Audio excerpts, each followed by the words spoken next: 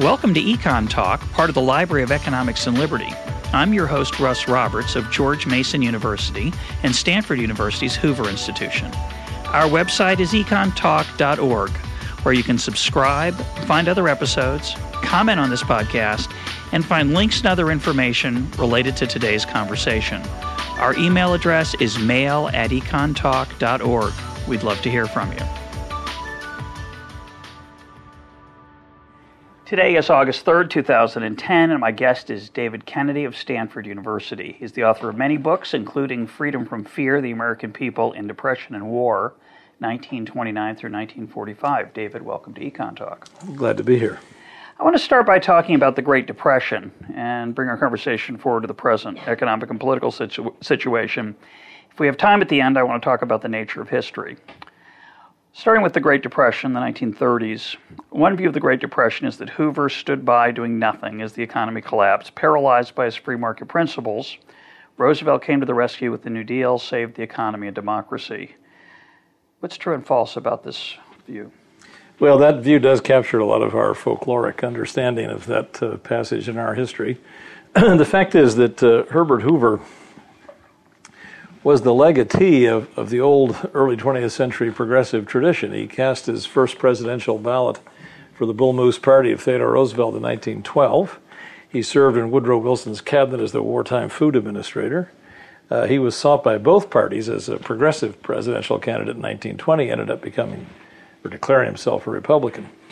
But he was very much, uh, very much inherited that progressive era uh, impulse to try to use the power of government to solve social and economic problems or to address them commensurately with their gravity as they presented themselves in the 20th century. And, and part of the progressive agenda was to build governmental institutions that were on a scale that equaled what the economy and the society had become since the Constitution was written in the 18th century.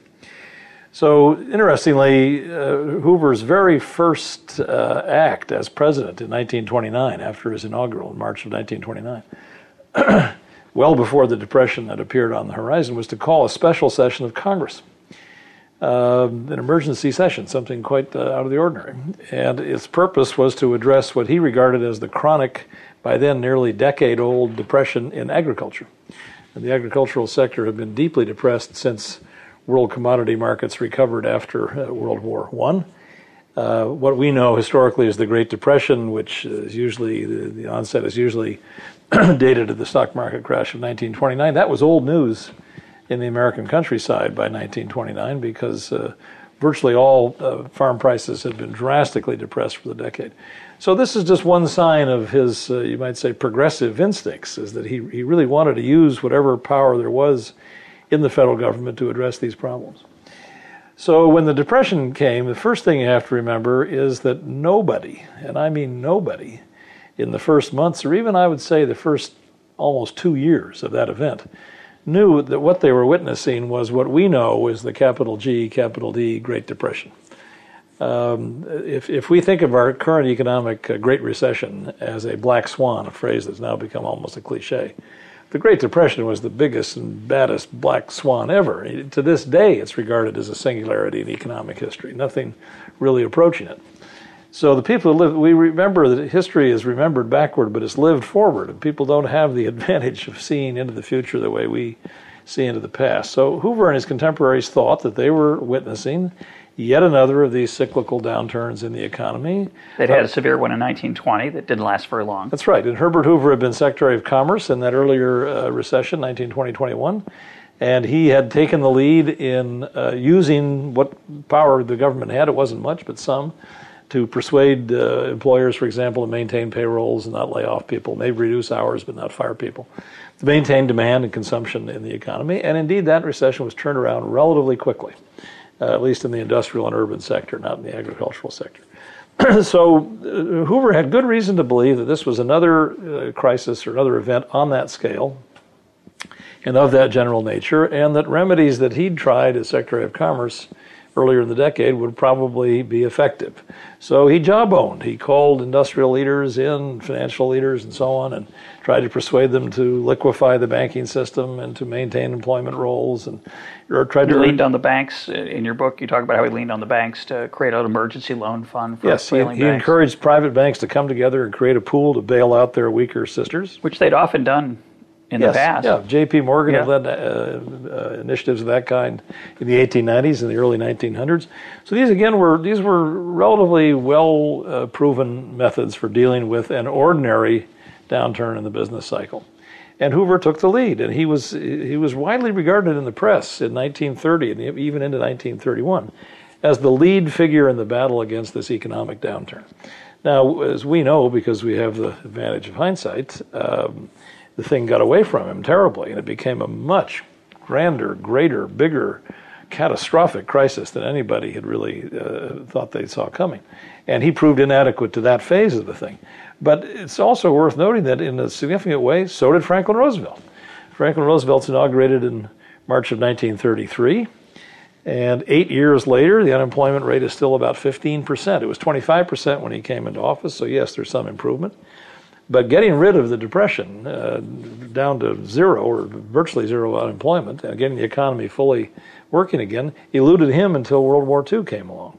So the, the standard history of Hoover as a failure and Roosevelt as a great success on strictly economic grounds, that is, strictly in terms of counterpunching to the Great Depression, is uh, uh, distorted on both sides. Hoover did indeed take some uh, pretty strong initiatives, and Roosevelt, for his part, never did fully pull the country out of the Depression. And as you explain in the book, when the economy worsened sharply in in 31 and 32, Hoover got more aggressive.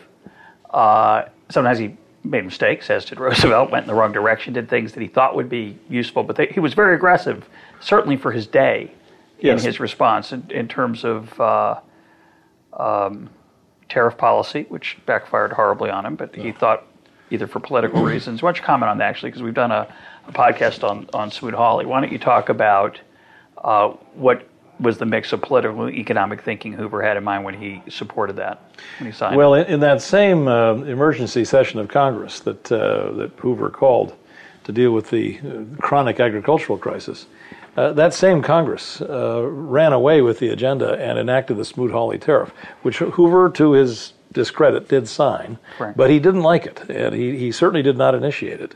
And indeed, it, it uh, cut across the grain of what he believed was the root cause of the depression itself was the was the in the disruption of international trade and international capital markets, international exchange rates, currency exchange rates, uh, in the great disruption that uh, that was the aftermath of World War One.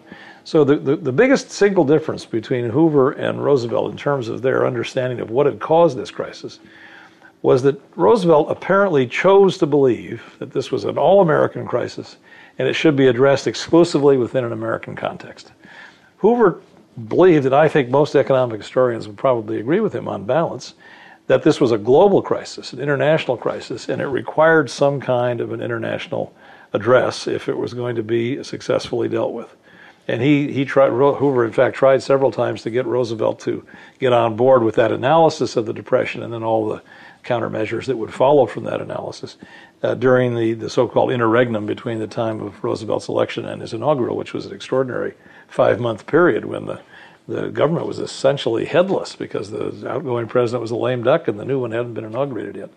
But uh, Hoover uh, never succeeded in persuading Roosevelt of those things, and the United States, like every other major country, proceeded to go its own way on nationalistic and autarkic grounds to try to deal with the crisis on its own.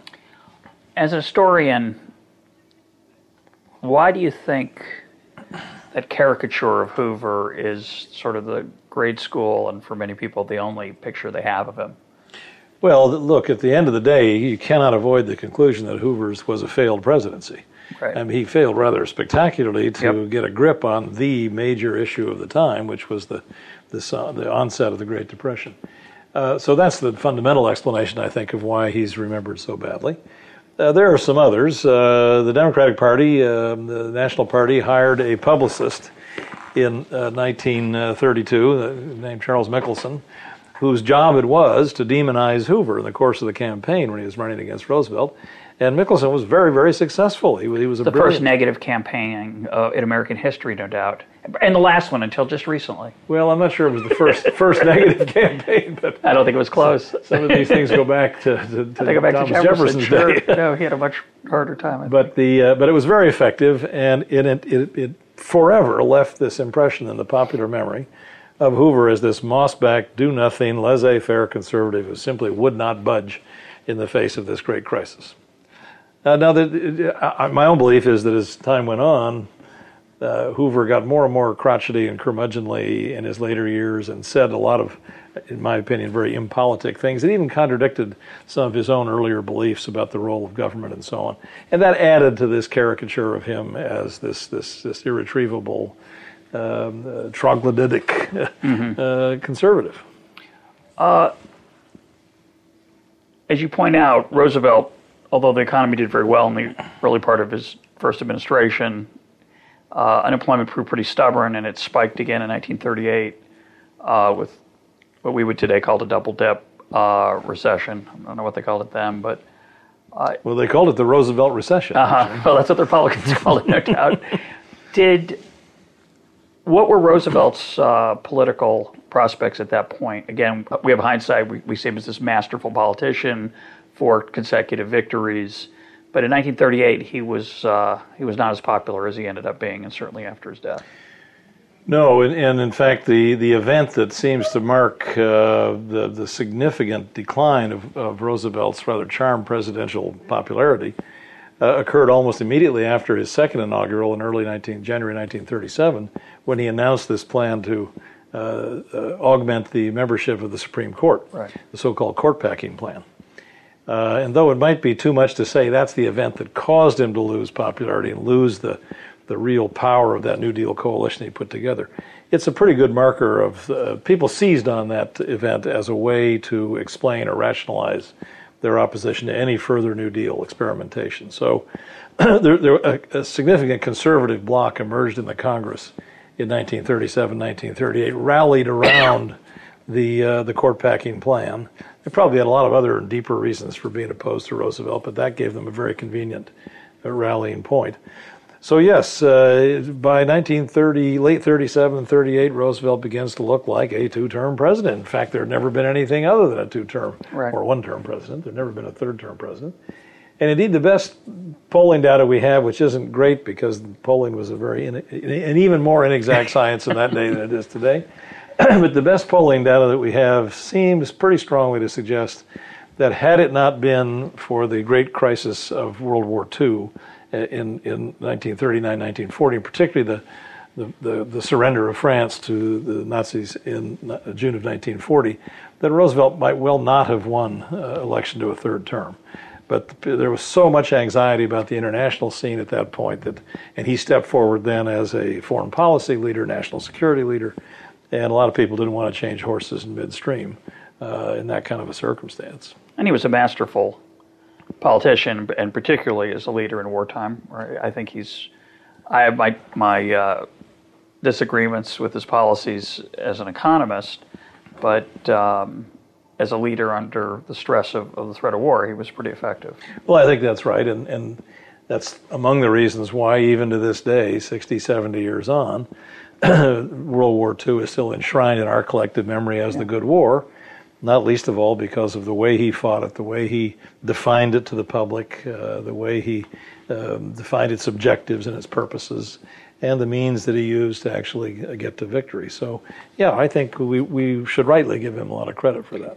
I can't help but think of the fact that uh, his monument in his memorial in Washington D.C., which is extremely large, by the way, in terms of acreage, it's, it covers a lot of ground. Uh, it's a low monument uh, that uh, tries to capture all of his uh, different parts of his different administrations. There, there are three things I love about it. One is he's shown in a wheelchair, something that in his life he was very careful not to be seen. He, he was not in the original uh, version of that monument. Correct. He is not smoking, and he was an ardent smoker. but the third thing that I always that is subtler, that those I think got a lot of public discussion. But there's a great quote about his pacifism. he was very eager, of course, to take America into war, perhaps rightfully. Most Americans thought so, think so now. But uh, he certainly wasn't a pacifist. Uh, but there's a great quote about the, the evils of war and weapons and very, very politically correct monument. Is that the quote where he says, I have seen war, I hate war? Something like that, yeah. yeah. Well, he was referring to a very whirlwind uh, inspection tour he made as Assistant Secretary of the Navy to the Western Front in 1918, and he, he saw war from a great sanitary distance, to, to be sure. So it's not exactly that he'd had his uh, boots down in the trenches, you know. Um, the thing I like about that monument, since we're on the subject, yeah. is that of all the presidential monuments in Washington D.C., it's the one that, in my to my eye at least, is least about a person and more about an era and it about is. the it's whole, got history in it. The, the whole historical context in which the person operated. It's absolutely true. Yeah. The part I find sort of amusing about those three things, I always think about it because, correct me if I'm wrong, but I think the Jefferson Memorial was built during the Roosevelt one of the Roosevelt administrations, and the quotes that were chosen for it seem to be suggestive of the flexibility of the Constitution, which of course Jefferson at the time must have said something like that, but you know, Roosevelt built that memorial to serve his political ends, and so modern politicians do the same with him. It's a little bit of justice there, perhaps. Yeah, I think you're right. Um, I like to mention on this program that that stereotype that I open with, this Hoover did nothing, Roosevelt saved us with the New Deal, has since been supplanted, I think, among pundits at least, and the general public as along the lines that you said, that, well, the New Deal didn't work quite as well as maybe we thought it did. Uh, the recovery was actually quite disappointing. It was the war that got us out of the Depression. And some economists dispute that. I'm curious what your take on it is. Well, first of all, amongst historians, th- th- there's there's no headline in the statement that the New Deal did not end the Great Depression; that it took World War II to do that. This this has been uh, understood clearly since the 1930s. Uh, so this, uh, so much recent scholarship, or at least punditry, has this error about it. Now it can be told. Yeah, for sure. Which I think is really badly mistaken. It, it really presumes a degree of ignorance amongst the readers of these things that uh, is not justified. but look, there, there's a um, there's a deeper story here. It seems to me. And I'm going to try to develop a little thesis here briefly about it. Um, Go for it. That maybe some uh, people might think is a little bit over the top. But I think I can make a case that Roosevelt's top priority was not ending the Depression as soon as possible. That his top priority was to use this moment of great political, social, cultural, ideological disruption, malleability, to accomplish reforms that he had thought well before the Depression ever came along were necessary to make modern American life viable. And the, there's a single word that uh, sums up all of that objective and that program, uh, the word is famous to us, not least of all because it's in the title of the single most famous piece of legislation that comes down to us in that era. It's the Social Security Act. And security, it seems to me, unmistakably, is the touchstone and the core of everything that he wanted to accomplish. To take the risk out of unemployment, take the risk out of old age, take the risk out of mortgage lending, take the risk out of securities trading, or at least reduce the risk in all these sectors, and to make American life across the board for individuals and institutions more predictable, more stable, and less susceptible to these wild ups and downs that have been characteristic of the American economy since the early 19th century, since the United States entered the Industrial Revolution era. Uh, and he got a lot of that accomplished. And small amounts that grew. Yes, he, he got Social Security accomplished. Yeah. He, he, established the Securities and Exchange Commission. He passed unemployment insurance. Uh, created Fannie Mae. He created Fannie Mae. He created the Federal Housing Authority, uh, which those things worked very well for half a century. They lately haven't served us too well, but they worked very well for two or three generations. So the first thing I think you have to keep in mind is when you're passing judgment on Roosevelt is trying to remember what his real priorities were. And ending the Depression in a hurry, I think, was not one of them. And, and I, though I can't prove this with the kind of really hard documentary evidence that uh, I might like to find, there is a document I think that goes a long way toward convincing me that I've got this right. And it's Roosevelt's second inaugural address in January of 1937, when he says something absolutely extraordinary in the annals of presidential speeches. He's been, re, re, he's been reelected, he's been inaugurated for the second time. he begins the speech by talking about how much progress there has been out of the depths of the Depression when he came into office in 1933. He's bragging, boasting, as you would expect any political leader would, about the things he's got, he's accomplished. And then he says something just absolutely astonishing. If you read the text of the speech, I think I can quote it just about verbatim. He says, "But these signs of returning prosperity could be portents of political disaster." Hmm. Now that that is a truly astonishing thing for a president to say. Sure. Prosperity could be politically disastrous, and it's then Sure. immediately after that is when he gets off this line that uh, many people know they've heard it, but many people don't get the context. He says, "I see one third of a nation ill housed, ill clad, ill nourished, and so on." He's not talking in the in the context of that speech. He is not talking about the transient victims of this passing crisis of the depression. In his mind, he's just painted a picture where the depression is lifting and things are improving, but he sees this one third of a nation that is still left out of the, the, the, the core of national life. That they're they're chronically in trouble. Those are the people he's really trying to lift into the mainstream of American life, and he's afraid that if the economy returns to normal too swiftly, he won't get that job finished. So. I, I, I think he had a much deeper and more ambitious agenda than a lot of people give him credit for. And that theme runs through Democratic presidents, just like Ronald Reagan has become the person that, that Republican nominees have to pay homage to. Uh, Democratic politicians, either out of respect or uh, practical uh, success, use a similar theme still to this day. The people, the haves and have-nots, the whatever it is, right? Yeah, I think that's right. I think, uh, though it's a gross generalization, I think it's pretty uh, accurate that the, the Democratic Party, Democratic leaders, since Roosevelt's time at least, have been of the belief that uh, there is so much potential volatility uh, in our economic system that it is the job of government to stabilize things and buffer people against the uh, the workings of the free and unbridled market, whereas the Republican Party, by and large, is the party that wants to unlock and release entrepreneurial energy and so on, and they're a little less concerned with stability and security. yeah, uh, they certainly don't talk about it as much. uh, You know, and they certainly seem to be more interested in creative destruction, although they often don't actually do much about it. There is a another theme about the cause of the Great Depression I want to just mention before we go further. Um, before we go further, which is the role of inequality, because you're talking about insecurity, the fact that there was economic life had been always been risky, and it was probably riskier, certainly for many Amer- millions of Americans in the 30s. there is a common argument made that inequality was a cause of the Great Depression itself. Uh, what do you make of that argument? Well, that was an argument. Uh, Where does it come from? I, I think it's in a lot of high school textbooks. It seems to, to be in there.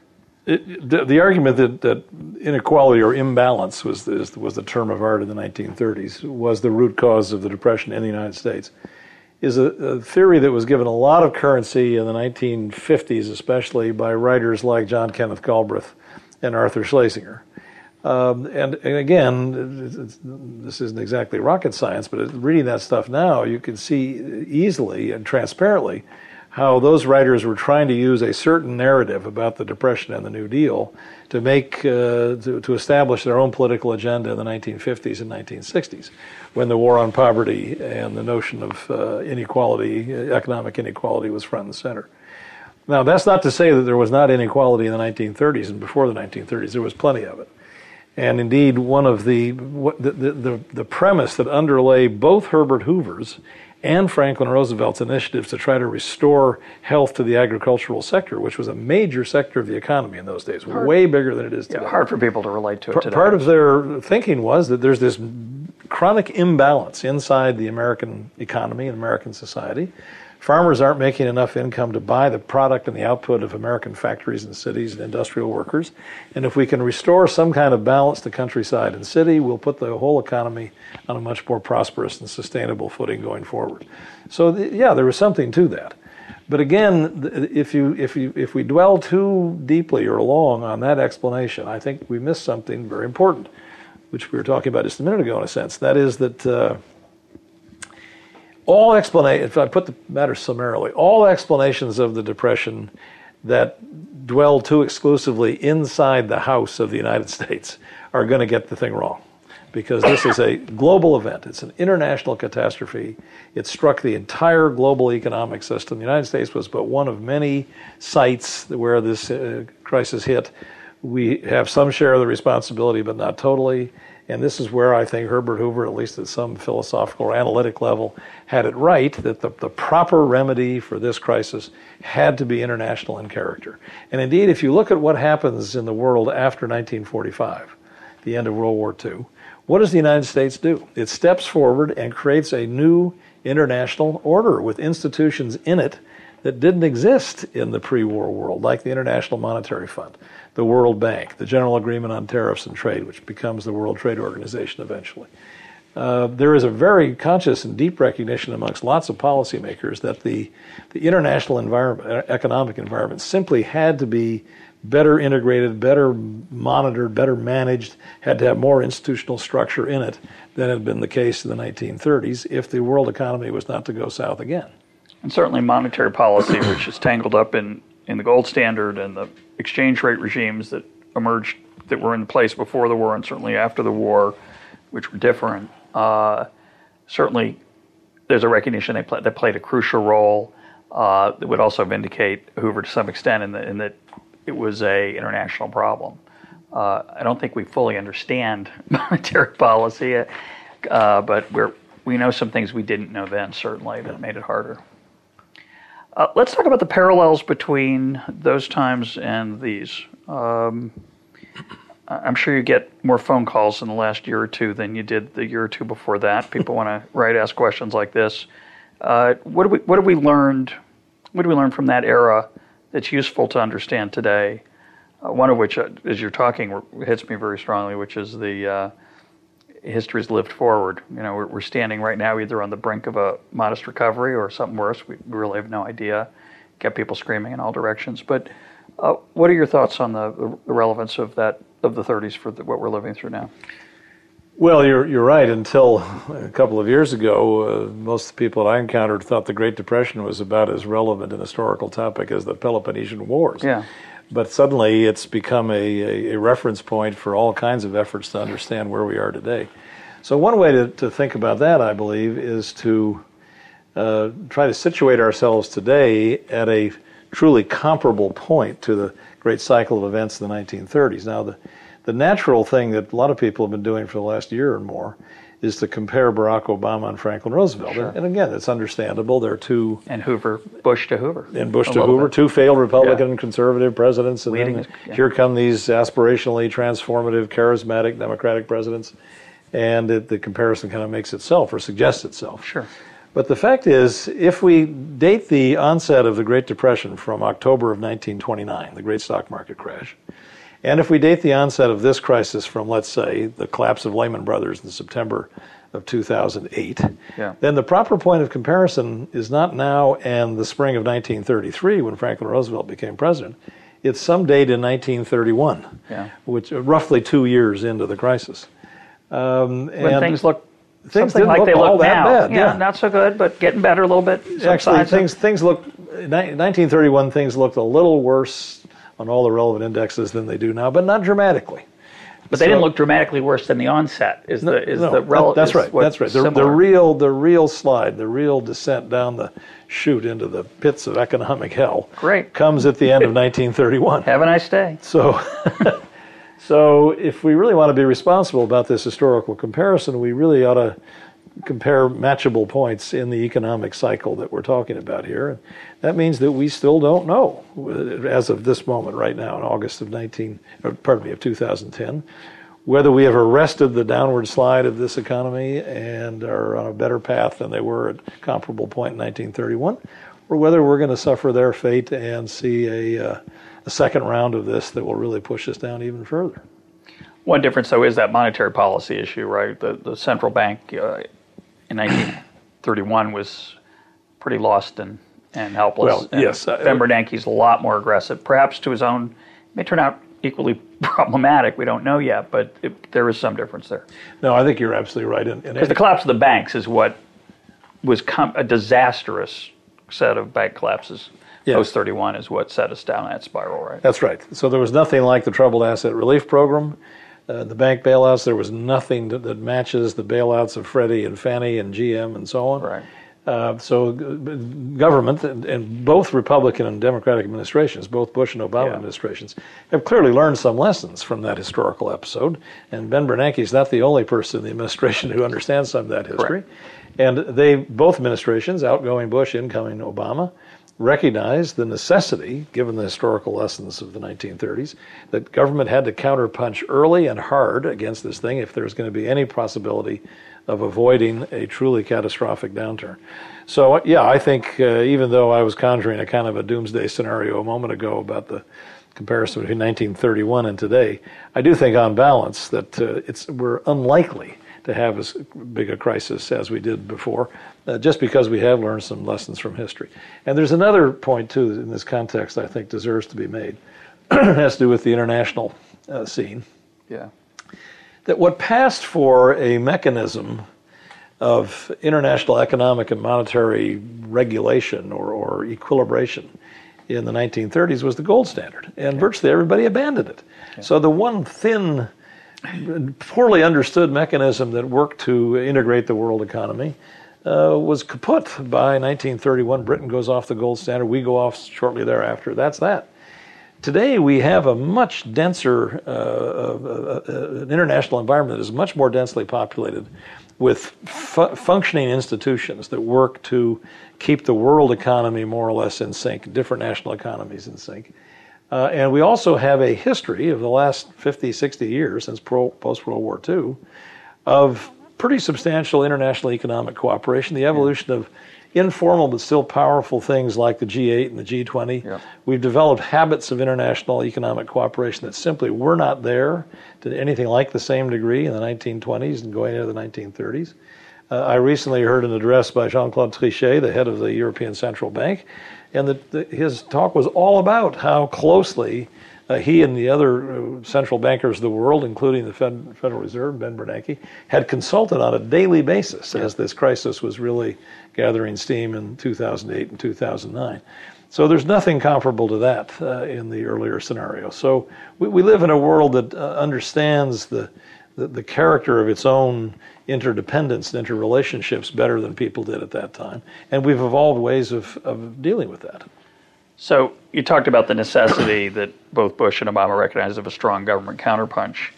And yet, about 800 yards from here, John Taylor's office at, over at, at Hoover is he's an he's a very outspoken critic of both the Bush and the Obama interventions. There are similar uh, respected voices coming out of Harvard, uh, Alex Alesina, Robert Barro.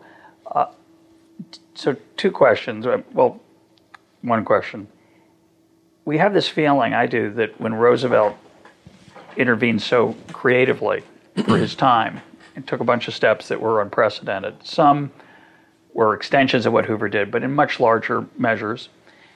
You have the feeling everyone just said, "Yeah, well, it's we got to try this because after all, it's a depression," um, and that only kooks and and you know people who saw Roosevelt as a red stood up to him intellectually. Was there much of an intellectual backlash on free market principles against uh, Hoover's, uh, excuse me, Roosevelt's policies, and maybe Hoover's, I don't know.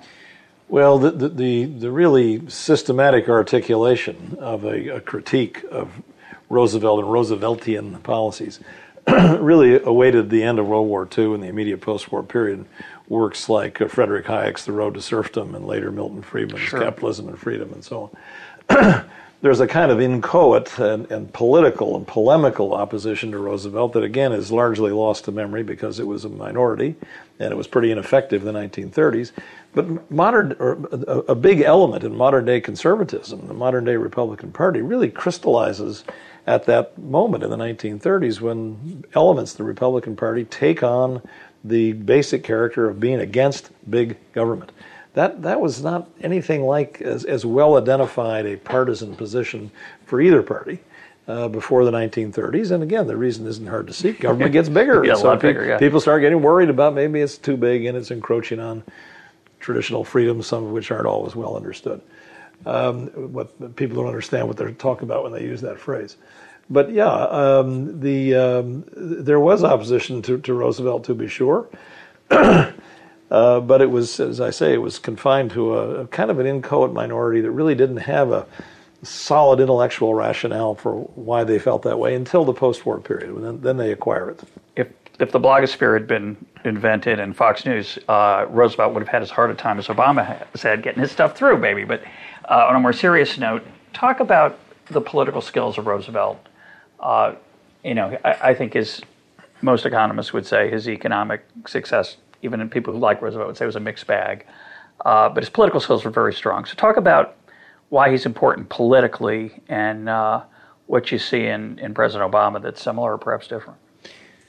Well, Roosevelt was, in his time, uh, to, to borrow a phrase, a great communicator. Yeah. Uh, he mastered to a degree that no one before him had this fairly new medium of the radio as a tool of political appeal and of governance, really. radio had been around for about a decade before he became president. Uh, Herbert Hoover had campaigned on the radio in 1928 and again 32. They both did. But Hoover and, and Coolidge and Harding never really figured out how to use the medium in a way that would was really effective. Uh, Roosevelt did, and the, among other things, the so-called fireside chats were just a stroke of political and communications and public relations genius to use this new medium of the radio to cultivate a sense of intimacy uh, with uh, the public at large. There's a wonderful anecdote that I heard recently that illustrates this. at Roosevelt's funeral in 1945, as the funeral cortege was making its way through the streets of Washington, there was an old man weeping. And somebody said, You, you seem so affected. Did you know the president? And the man replied, No, I didn't know him, but he knew me. Uh, and, it, that, and it's an anecdote to be sure, yeah. but it tells so, us something really uh, uh, important about the way Roosevelt related to the public at large, and he did that not least of all through the mechanism of the radio. So that was that was one piece of, of communications genius that he, he mastered early on. But there there was a lot of method to this too, and we shouldn't just uh, chalk it up to uh, it's a good voice, yeah, inspirational good delivery, yeah. moments of inspiration. For example. The, uh, the great immigrant communities that entered this country in the very late 19th century and early 20th century, the so called new immigration, as people that came from Southern and Eastern Europe, they were Orthodox and Jewish and Catholic and Polish and, and Italian and Bulgarian and so on. Uh, they differed culturally, religiously, linguistically, and so on from these earlier uh, Anglo Saxon, German, Scandinavian, North European immigrant streams. And their political loyalties were not very well set uh, as the Great Depression came along. Uh, to a certain degree, they weren't very politicized. They didn't they didn't vote commensurate with their numbers, and their Trying vote to make eleven. Their, yeah, and their vote tended to be up for grabs between the two parties. They weren't firmly in the, the camp of either party. Roosevelt understood this, and he understood that here was a constituency or a potential constituency that he could mobilize politically and attach to the Democratic Party for at least another generation, which he did. That's the core of the fabled New Deal coalition that dominates national politics well into the 1960s. It's a 30 year long political cycle, at least.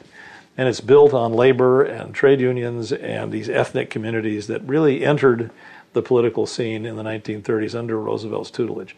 And here's a, here's a number that really tells us how calculating and shrewd and deliberate this policy was. The three Republican presidents who preceded Roosevelt, that's Harding, Coolidge, and Hoover, over their 12 years in office, appointed exactly eight Catholics to the federal bench in 12 years. In Roosevelt's first eight years in office, just down to 1941, he appointed over 50 Catholics to the federal bench. Well, that's that's not a coincidence, not, a, yeah. not, an accident. He was deliberately reaching out to those communities, these these immigrant communities especially, and cultivating their loyalty and attaching their loyalty not just to him personally, but to the Democratic Party, and it worked. The uh, it, worked so much that uh, the, the, the, one of the, the reciprocals of this uh, development was the joke that used to circulate in the 1950s and 60s was that the Episcopal Church was the Republican Party at prayer. That mm-hmm. the, the, the, the, great Catholic communities had all uh, found their way Jews to the Democratic Party sure. and stayed there, and Jews, yeah. Now that changes in the 60s, and in fact, George W. Bush, I believe, is the first Republican to get a majority of the Catholic vote since Roosevelt's day uh, in the election of 2004. So that coalition eventually unravels. But it was very deliberately cultivated by Roosevelt in his time. Yeah, I mean, it's, it's ironic. Think of Catholics being associated with immigration, but of course, Poles and the Italians were, they were That was a new phenomenon. Yes. The magnitude of, of those uh, of those folks. Uh, we had a podcast uh, recently with Daniel Okrent about prohibition, and you talk a little bit in the book about what prohibition did to the Democratic Party. Talk about how that changed as prohibition ended and Roosevelt took advantage of it. But the Democratic Party was extremely ineffective. As you say, for 12 years they, they lost the White House after Wilson.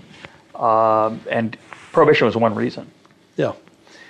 Well, prohibition, uh, the, the repeal of prohibition had a lot of appeal to various segments in the Democratic Party. It's one of these complicated political issues that appeal to different people in different ways.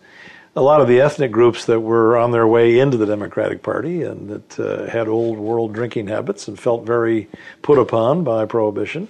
Uh, it really uh, prohibited them from exercising cultural rights and, and practices that they'd inherited from generations before. So there, there, was a lot of bad feeling in those communities about prohibition through the 1920s. A lot of people, a lot of immigrant communities thought this was some WASP conspiracy to deprive them of their God given right to drink. And then on the other side, the, the conservative side of the Democratic Party, you might say, the business wing of the Democratic Party, there were people who felt that if we could bring back the excise taxes on alcohol, that that would reduce the pressure for uh, higher marginal income tax rates. Yep. So there was a kind of convergence of interest here cultural grounds on the part of one community and economic tax revenue fiscal grounds on the part of another community. That adds up to a sufficiently large block that we get rid of prohibition. And then what did Roosevelt do besides his appeal to immigrants to sustain really a Democratic majority for, for decades? Well, he also put his uh, weight behind uh, the efforts of uh, trade union leaders like John L. Lewis to, to build the trade union movement. Uh, something less than 10% of the non farm workforce was unionized going into the Depression. Which is about what it is now. It's, it's not much higher today. It's about 13% private sector, today. Yeah. yeah. Um, but it, I think that includes government, by the way. I think in the private sector, it's it's well below ten now. I wouldn't be surprised. Yes, the public employee unions Yeah. are the big ones. But the by the 1950s, the non-farm workforce is about 37 or 8 percent unionized. That's the high point. That's a, a, a development that really begins in the 1930s. So uh, it was another part of Roosevelt's strategy, uh, just on political grounds, was to attach to himself and the Democratic Party the passions and the interests of those people who are interested in strengthening the labor movement. So, and that becomes a major constituency in the party. There's a lot of overlap between that those labor institutions and the ethnic and immigrant communities that we've been talking about. So these aren't necessarily separate strategies, but they're overlapping strategies. Um, though again, it takes a while for the political payoff of this to really play itself out. Uh, the Roosevelt administration also um, gestured, at least, maybe one shouldn't put it any stronger than that, but gestured to the African American community about its uh, friendliness to them and their interests. And there were some real substantial and concrete uh, uh, items in that. But uh, it also began to turn the black vote, such as it was. Not, not many blacks were voting in the 1930s, because most still lived in the segregated South and did not have voting rights. But it starts to turn the black vote to the Democratic Party, where it remains ever since. I mean, since World War II, 90% or so of blacks have voted for the Democratic Party. That's a great historical reversal. The, the, Republican Party was the party of Lincoln, the party of emancipation. Yeah. And insofar as blacks were allowed to or managed to exercise the, the franchise in the years after the Civil War and Reconstruction, they voted Republican. Um, Martin Luther King's father voted Republican, mm. for example. Um, but the, the that, that that's that massively changed beginning with the New Deal.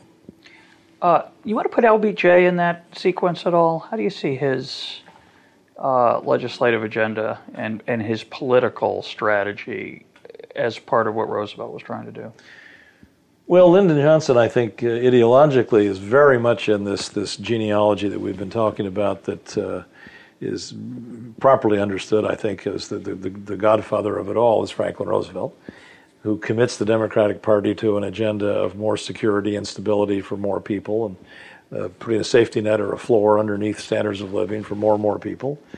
Uh, bringing more people into the middle class, the mainstream of American life. That that that that agenda was very, very well accomplished in the post World War II period. Incidence of home ownership, for example, goes up from about 40% in the 1920s to over 60% by 1960. Yeah. So that, that's a major social accomplishment for this or any other society. And I think Lyndon Johnson is in that same vein. His signature accomplishment, of course, or among his signature accomplishments, was Medicare and Medicaid. That was an un, a bit of unfinished business from the New Deal era. Indeed, it was unfinished from the progressive era. It was, it was in the Bull Moose platform in 1912, was a commitment to some kind of universal health care. In the original instructions to the drafting team that came up with the Social Security Act in 1935, their original brief uh, included instructions to come up with a plan for old age pensions, unemployment insurance, and universal health care. And Roosevelt, uh, fairly early on, concluded that if he kept the, the health care provisions in it, he risked sinking the whole bill. So he excised them before the bill ever got put into the congressional hopper, and that's why we get the Social Security bill that we do. Uh, and as recent history also instructs us, getting truly universal health care on the model that most other societies have has, for a whole host of complicated reasons, been very, very difficult in our society. But Johnson clearly is in that vein. I mean, he used to, Johnson used to say, I think of Franklin Roosevelt as my pappy, that he was the, he was the godfather of a lot of his own agenda. Um, and uh, also, of course, the other great thing that uh, accomplishment that that uh, Lyndon Johnson is known for is uh, signing into law the Civil Rights Act of 1964 and the Voting Rights Act of 1965, which really represent the the first time in almost a century since Reconstruction after the Civil War that the federal government really bestirred itself in a meaningful way uh, in the name of racial equality. Uh, and Johnson knew something that Franklin Roosevelt knew that this, once the Democratic Party got attached to that, or any party, either party, got it fully attached to that issue, it was going to lose political strength in the South. And there's this uh, story, which I believe to be true, that when Johnson signed the Civil Rights Act of 1964, he turned to one of his aides and said, I believe we have just lost the South for at least the next generation. Well, that proved, proved to be absolutely accurate. That the South goes Republican, not least of all uh, because of uh, the legacy of the civil rights legislation of the 60s. Yeah, I think the interesting question is whether the economic security parts of those two administrations and that whole philosophy you're talking about, the security philosophy, uh, whether they'll merely have had a good run that has to be adjusted or whether they have it's going to be much harder to change them for the uh, to repair them. Um, it's going to be an extraordinarily interesting political time to deal with our entitlements programs and Fannie and Freddie, which, as you say, quote worked well for you know decades. Um, they now are so weirdly ensconced in our housing market.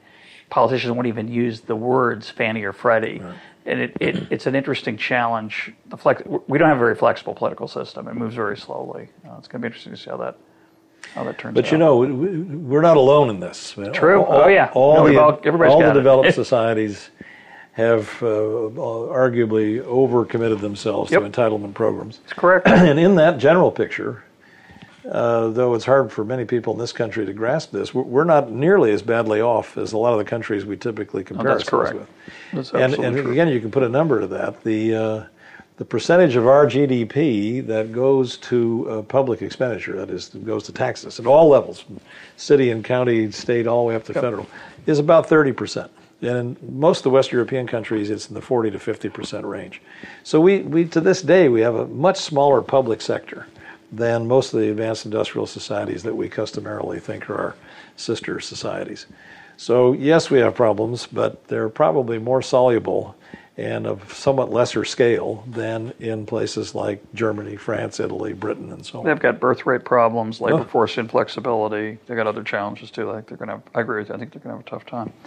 One parallel, parallel I see is something you alluded to earlier uh, between this era and the past, which is the narrative. Um, I see an immense fight today over the narrative of what caused this crisis. Uh, you know, this may turn out to be a relatively small economic tragedy. It may turn out to be something much larger. We don't know.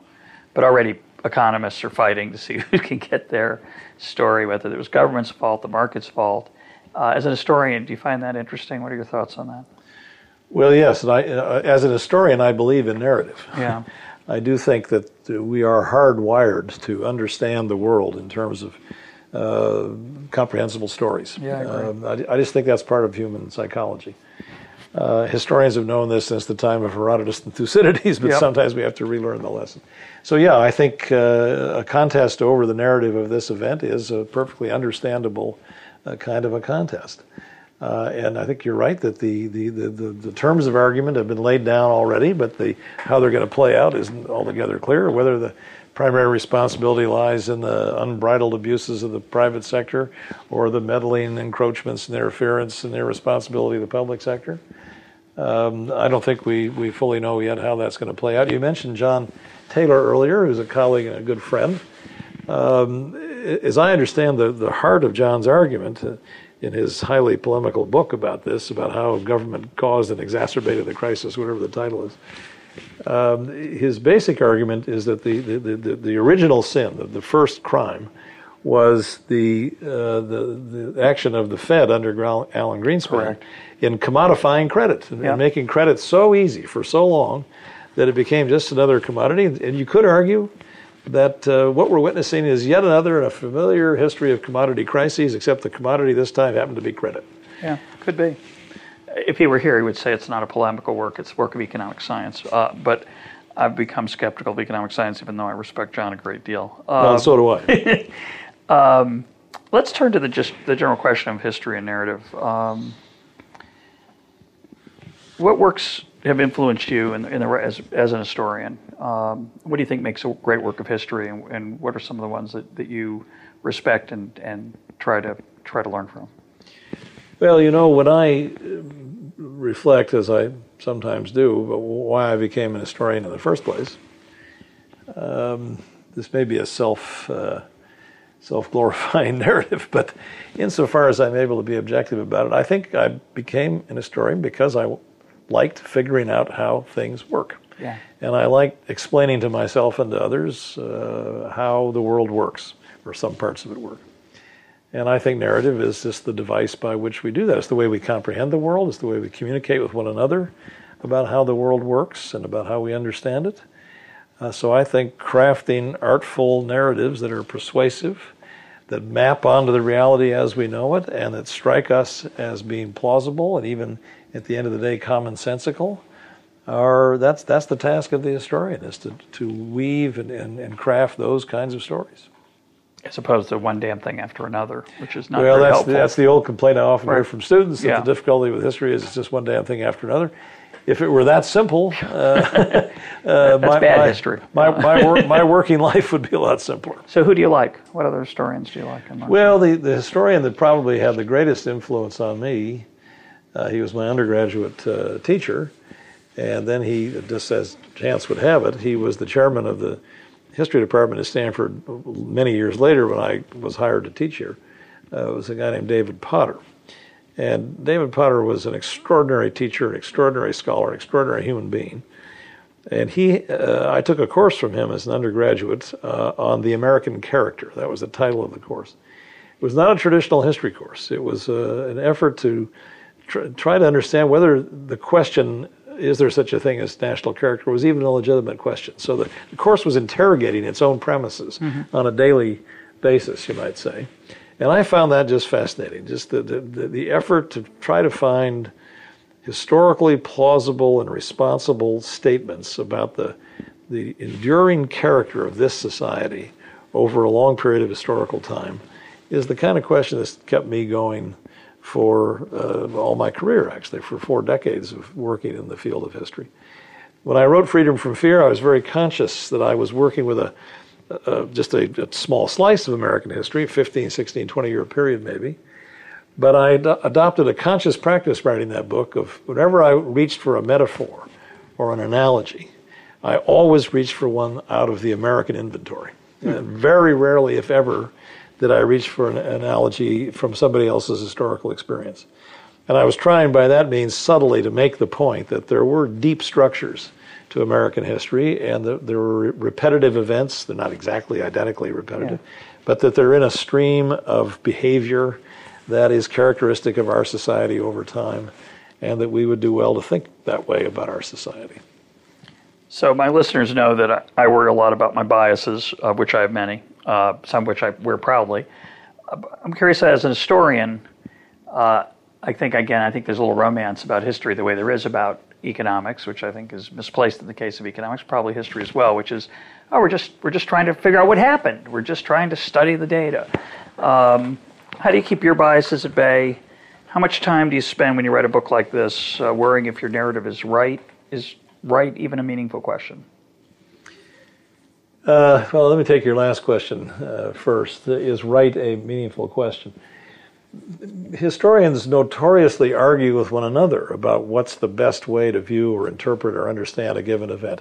If we didn't have those kinds of arguments, there would be no such thing as the professional or academically based study of history. It's in, on those grounds of argument that the real intellectual interest lies in what we do.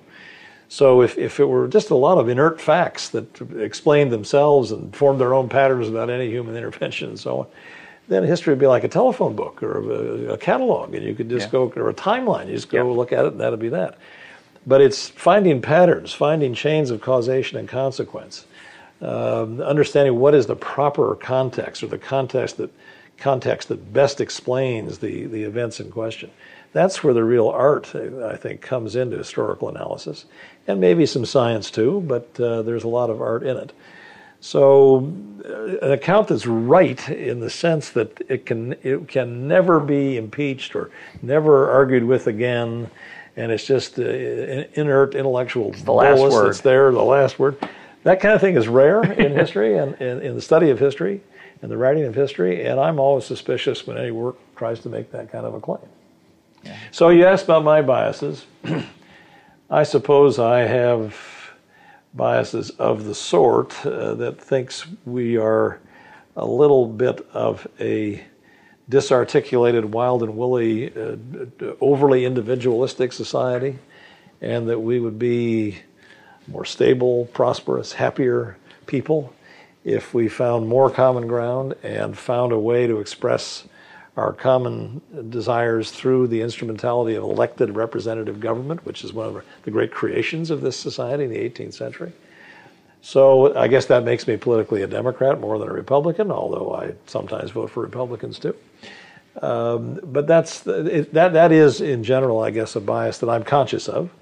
It's a, it's a value or a set of values sure. that I'm conscious of, and yes, it must inform my work. But I'm not unaware when that bias starts to influ- exert its influence, and I try to check that with whatever means are at hand. One of the challenges I find out when I think about these issues is how tempting it is to play to your play to your friends, mm-hmm. right? Um, you know what an audience is going to find appealing, uh, and um, there are a lot of narratives. So how does the historian, given that there are many narratives, they're all some more valid than others, some more legitimate than others, but many plausible narratives. How do you choose among them? Or, and let me ask you a more practical question. When you're literally structuring a book that's got this much detail and this, you said it's only 15, 20 years, but it, really tumultuous 15, 20 years. It could have been eight times as long, right? right? I just, it's depressing. thank. God it's not. yeah. right? But it could have been. You could have spent your whole life writing on that those 20 years. Sure, yeah. Well, yes. How do you choose? How do you? Um, well, I, I again made a fairly conscious choice in writing Freedom from Fear that I was going to focus on those things that endured uh, beyond the 1930s and the 1940s, those things that had consequence in history. Uh, those were going to be my major uh, elements of focus.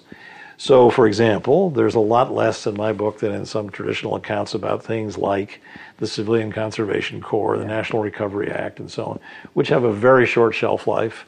And yes, there's a lot of romance about them, and they, they were very colorful stories, but they're not really what deeply affected the nature of the society going forward. So that's why I spent a lot more time talking about American grand strategy in World War II than I do in the heroism or valor of any particular kind of battle uh, why I spend a lot more time talking about the Social Security Act than I do talking about the Agricultural Adjustment Administration and so on.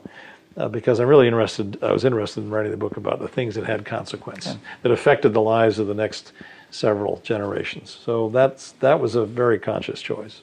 And I also made a very deliberate choice uh, to shun, uh, well, shun puts it too strongly, but not to lay much emphasis on popular culture, uh-huh. which uh, I've seen other writers get uh, attached to that tar baby. It's colorful stuff, yeah. it's fun, uh, re- recounting movie plots and yeah. f- figures who made the headlines for two weeks in 1938 and never heard of again. Those are great stories, and they're always fun to recite, but they they don't really have much deep and lasting consequence for the larger society. So there's not much of that kind of thing in my book.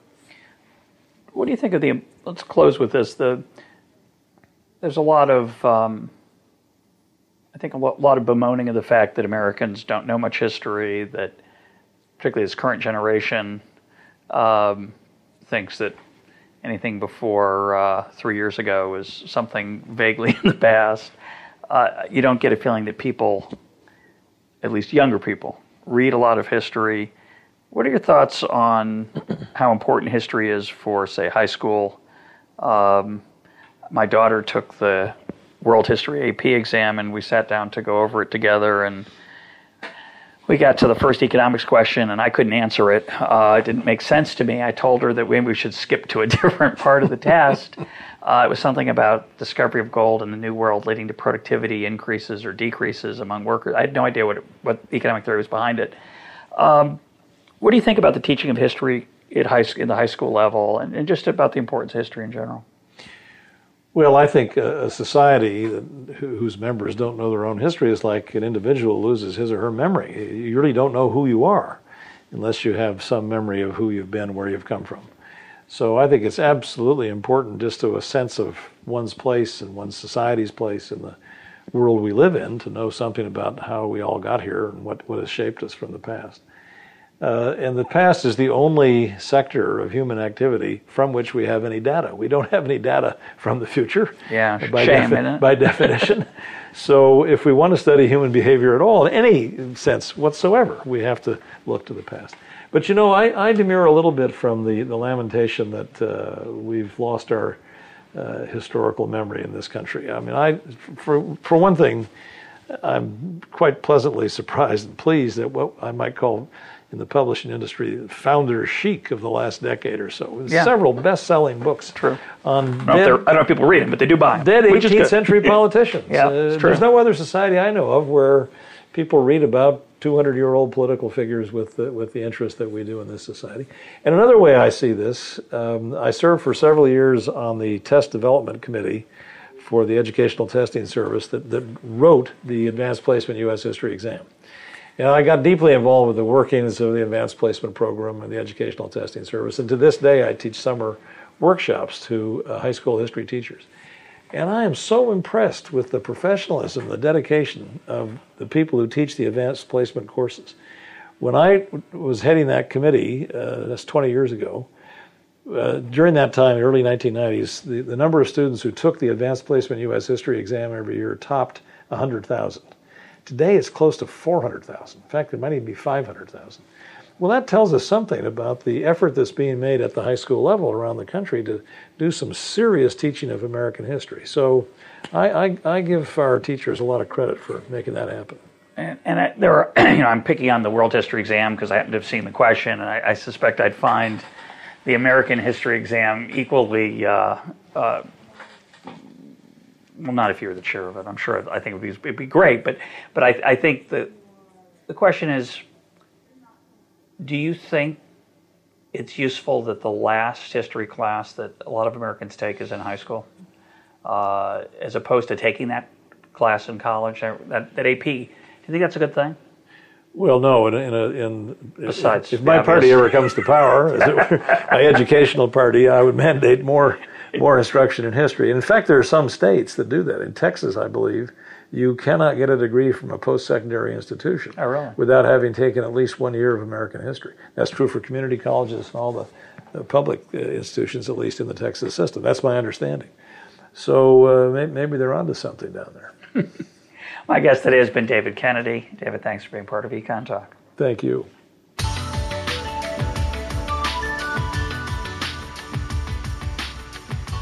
This is Econ Talk, part of the Library of Economics and Liberty. For more Econ Talk, go to econtalk.org, where you can also comment on today's podcast and find links and readings related to today's conversation. The sound engineer for Econ Talk is Rich Goyette.